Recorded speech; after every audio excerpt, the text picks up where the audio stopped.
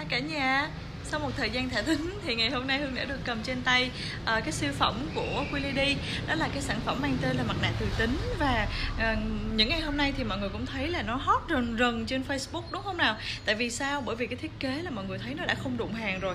Cái hộp inox cực kỳ chắc chắn. Đấy cái thân hộp thì không còn gì bàn cãi. Nó rất là sang và đã nói là Willady đi đầu về cái sự đổi mới thành ra luôn luôn tạo nên một cái sự mới mẻ đối với khách hàng. Và mọi người cũng thấy đi kèm với em nó sẽ là một cái cây nam châm từ tính hút đi những cái bã nhờn những cái uh, còn sót lại trên cái trên cái gương mặt của mình. Đấy và à, với cái thành phần như là tinh dầu jojoba nè à, các vitamin cũng như là khoáng chất trong cái mặt nạ này thì nó sẽ đánh bóng làn da của mình cho mình một cái làn da rất là trắng nè mịn nè và đặc biệt là hút sạch những cái bã nhờn mụn cám mụn đậu đen nữa. À, một hộp như vậy chỉ có giá là 360 ngàn thôi. Mọi người mua ba có giá sỉ mọi người nhé.